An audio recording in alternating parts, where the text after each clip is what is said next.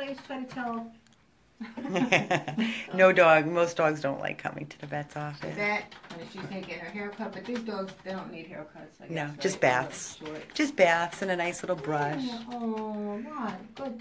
Wave to everybody. Say, Say hi. Go to my new Say hi, today. I'm Yes, Livia. This is my new mommy, Linda. Hey everyone, we just finished with one video for puppy Leah, and her sister is in the examining room next door here at the Imperial Point Animal Hospital. This is her new mommy. Say hi, Linda. And this is her son, Doug. Yes. And they your brother. um, such a great family, such a great family, Coral Springs, and the home check was just beyond beautiful. Um, Linda is home all day, so she is going to be spoiling our baby girl beyond. As what did you tell me? Every dog should only have a life in my like. I'm going to treat them. Yes. So and Doug's excited too, right? Doug, are you at home? Do you live at home? Yeah. Yeah. So you're going to be part of the dog's Oh, yeah. life When he's not working. when he's not That's a lot. working. So this is so awesome. Aw, This is so fantastic.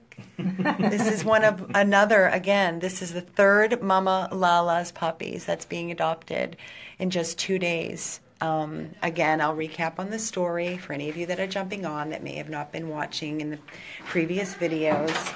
Mommy was found um, abandoned in Miami, and she took cover under a trailer with her six puppies after she gave birth to them out there. Um, and on that was July 1st. So they're actually eight weeks today. Happy birthday! Happy birthday, Livia! She's so gorgeous. I can't I stop looking at her face. And those ears, I can't. She has mommy's ears. It's such great stuff. Do you need her? You're going to do a dewormer? Oh, okay. This is the yucky stuff. No, this is bananas. Oh, bananas. Yummy, yummy, bananas. That's a dewormer.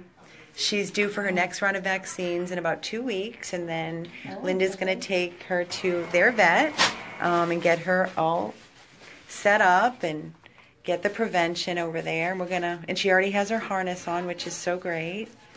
So, are you excited? I am. Yeah. Can I? I'm going to do one thing as we do with every one of our adoptions. Actually, Dr. Clark, do you want to do it? What, kiss them on their Can you kiss both eyes for me? Wow, this is a first, Dr. Clark. Aww. So you never, ever, ever see anything bad ever again in your entire life. Banana face. Thank you, Dr. Clark. Remember though. You get to see remember. me one more time. That's right. Thank you for everything.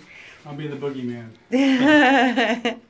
this is so good. Thank you, Christine and Bob, for fostering these babies so they don't have to sit in a kennel environment. They get to be in a home environment and socialize and get prepared for their new homes, which is huge. Trust That me. is huge. She, yeah, she's got her own little Setup. farm. It's amazing. It's amazing. She's a great, great mommy. So happy, happy life. I love you. I love you, beautiful.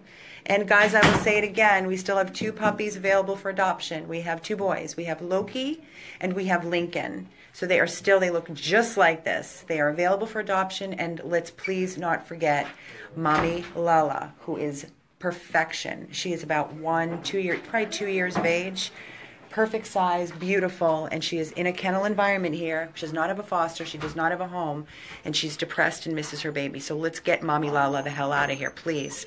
Reach out to us at 877 506 8100. Please, be, please be, consider becoming part of the solution. 100 plus abandoned dogs of Everglades, Florida. Congratulations.